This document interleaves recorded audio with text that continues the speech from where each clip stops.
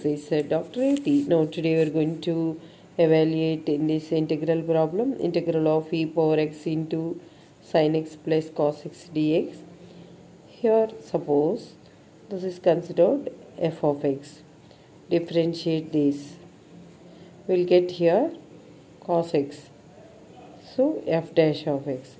Here applying the formula integral of e power x f of x plus f dash of x dx equals to e power x f of x plus c. So here f of x means sin x.